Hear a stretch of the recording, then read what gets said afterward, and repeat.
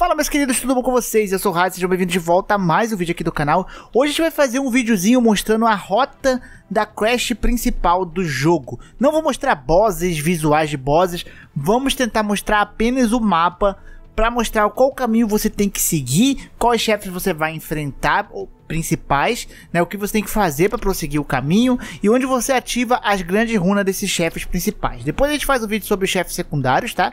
Mas a gente vai focar na história, na, na linha de quest principal, que eu vi que tem muita gente que tá perdido, não sabe como avança para a próxima área ou para a terceira área. Por exemplo, existem várias rotas, inclusive, que você pode avançar de uma área para outra. Então tem bastante segredinho aí. Teve uma coisa que eu descobri quase agora, inclusive. Então vamos falar aqui sobre o melhor caminho para você fazer, né? Ou o caminho para você fazer a quest principal aí, te dando algumas alternativas. Então puxa seu boquinho, tá aqui do nosso lado e divulga para aquele amigo seu que tá perdidinho aí no jogo, que vai ajudar ele, tá? Enfim, nós estamos aqui com o mapa né, de Engrave, a primeira área do jogo. Beleza, então esse mapa aqui eu acho que todo mundo meio que já sabe, né? O caminho é basicamente o Castelo Tempesvel. Então Tu vai chegar no jogo, você vai seguir esse caminho aqui, né? Você passa, cadê? Você passa, não, você começa por aqui, ó. Aí você vai, segue esse caminho todo aqui. É só, só ir na, uma coisa muito interessante é a indicação das fogueiras.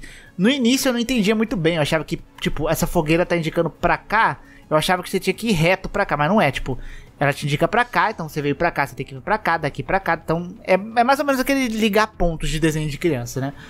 E aqui você vai ter o Castelo Tempestvel, onde você vai enfrentar o primeiro Lorde do jogo, né, o primeiro chefão principal, para você avançar para a segunda área. Esse chefe vai dropar uma runa e você precisa ativar essa runa dele. Para você ativar essa runa dele, basta você vir aqui nessa ponte, ó. E no finalzinho aqui dessa ponte vai ter um teleporte que vai te jogar para cá, para essa torre onde você pode ativar a runa e usar a grande runa dele, né? Uma coisa que muita gente não sabe é que as grandes runas né? Você equipa elas, elas te dão um atributo, só que você precisa ativar elas. Se você tiver só com elas equipadas, não vai funcionar.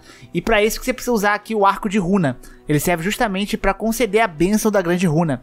E esse arco aqui, toda vez que você usa, né, vai dar o efeito da runa, mas quando você morrer, você perde esse efeito e você precisa usar de novo. Então esse item é escasso, chato de farmar. Recomendo usar só em situações muito específicas, tá? Enfim, voltando, né? A gente pode vir aqui e vai passar para o próximo mapa, blá blá blá, você vai chegar aqui no Lago de Liurnia. Porém, você pode pular a luta aqui com o Godric, pelo que eu vi. É, eu não cheguei a fazer, mas eu sei que dá para pular. Mas eu não sei quais são os impactos disso mais pra frente do jogo, se vai te travar alguma coisa ou não. Mas você pode pular, explorar essa área, ficar mais forte e voltar. Mas para isso você vai ter que vir aqui, ó. Você vai passar por debaixo dessa ponte aqui, ó, cabaninha. Você chegou nessa cabaninha antes de ir pro castelo passa por debaixo da ponte, vai chegar no final dessa ponte aqui, vai ter tipo uns pedregulhinhos aqui, ó. Que tu pode descer por aqui pelo cavalo e contornar esse caminho aqui, ó. Você contorna e consegue passar por fora do castelo. Só fazer com jeitinho que você consegue, tá?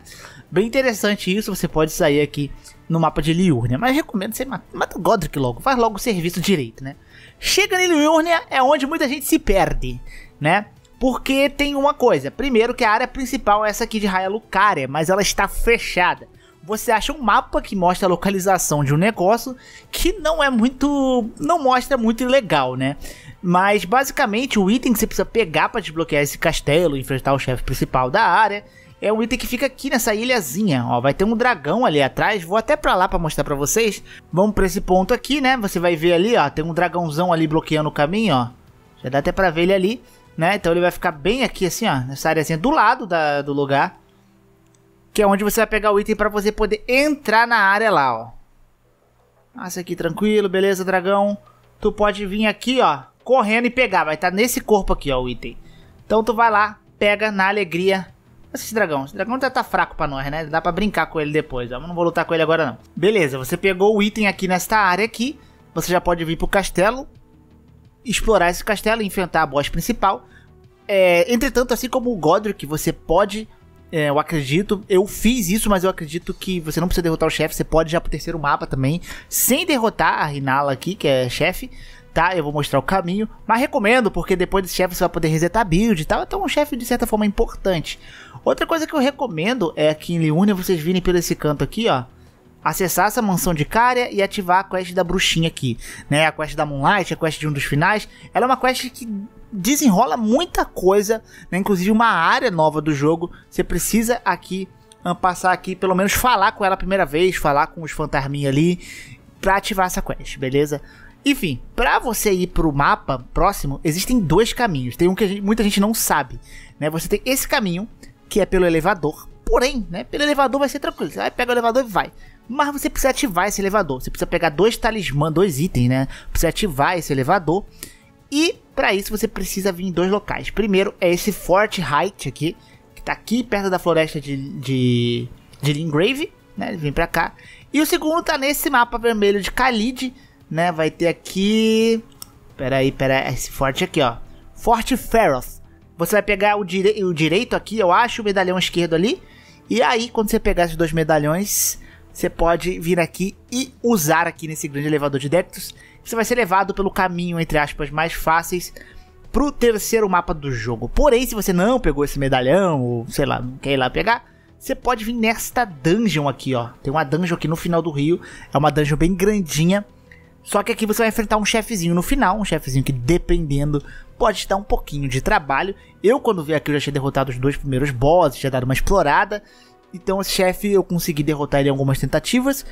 E depois de derrotar esse chefe, você vai ser jogado para esta parte aqui do mapa, ó, que já é o terceiro mapa. E tu pode seguir esse caminho da bonfire aqui, ó. Pam pam. Aí você vai vir para cá você vai ter essa ponte que vai te dar acesso à entrada da cidade. Eu acho que isso aqui já fica aberto, mas se não ficar aberto, tu vem por aqui, ó. De qualquer forma, tem esses dois caminhos que você pode entrar pela cidade. Bem, da cidade pro próximo mapa, eu acredito que é impossível ter uma rota né, que você consiga pular pro próximo mapa. Não sei que seja uma rota bem secreta que eu ainda não vi. Então, a partir desse mapa, diferente do primeiro e do segundo, que você podia escapar dos chefes principais, esse aqui não. Basicamente, você vai vir para a cidade. A cidade tem um outro mapa secreto, que é o esgoto. Que eu recomendo você pelo menos ativar uma bonfire e volta depois lá. Que provavelmente, mesmo você tendo explorado bastante, o esgoto vai ser um pouco chato e um pouco forte para você, tá?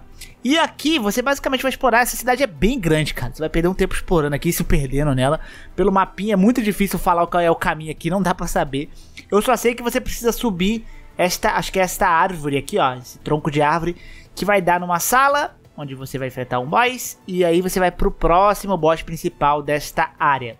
Beleza? Aí, derrotando o chefe principal desta área, você vai poder vir por esse caminho aqui, né? Aí sim, porque você vai ganhar um item que vai te permitir né, usar esse elevador daqui, ó. Então, sem esse item, sem derrotar esse boss principal, você não consegue usar esse elevador daqui. Então, você precisa derrotar o boss, vir por aqui, pegar aqui e pam. Uma coisa que eu esqueci é que a torre de Liurnia, né, onde você pega a grande runa do segundo boss, é esta aqui, ó. Só que você precisa fazer a quest da bruxinha para ativar isso aqui, tá bom? Essa aqui é a única torre mais diferentona para você acessar. Você precisa fazer a quest da bruxa.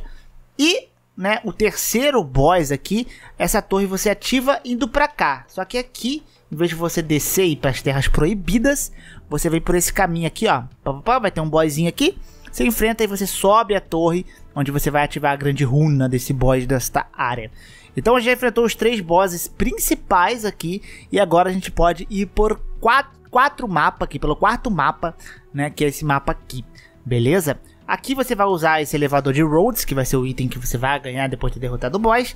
Existe um outro item que você pode usar aqui, esse elevador vai te levar para um outro lugar, mas não se atente isso agora, a gente vai fazer isso no próximo vídeo, tá? Porque é uma área bem opcional e bem avançada.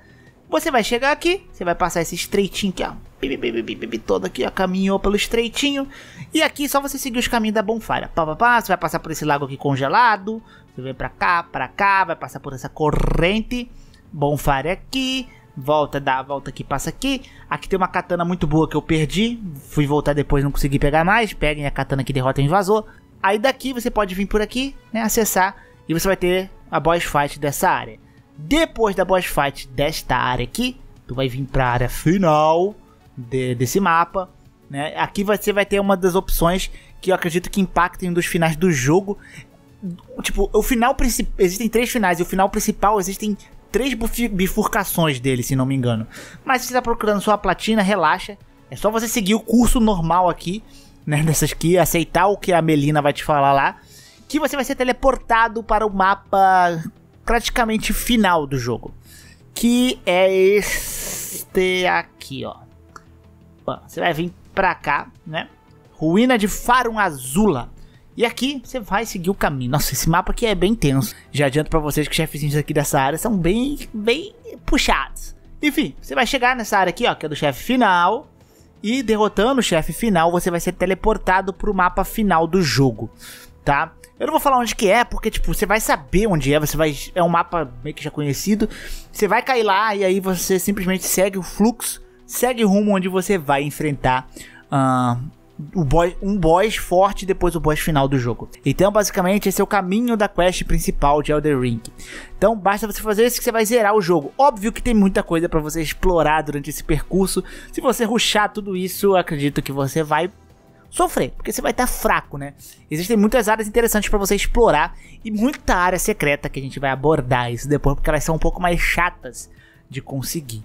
Enfim, meus queridos, esse aqui é o vídeo. Eu espero que vocês tenham gostado. Se gostaram, não esqueça de deixar seu like, se inscrever no canal. Muito obrigado pela visualização. Um grande beijo, grande abraço. Um beijo no popô. É nóis e fui!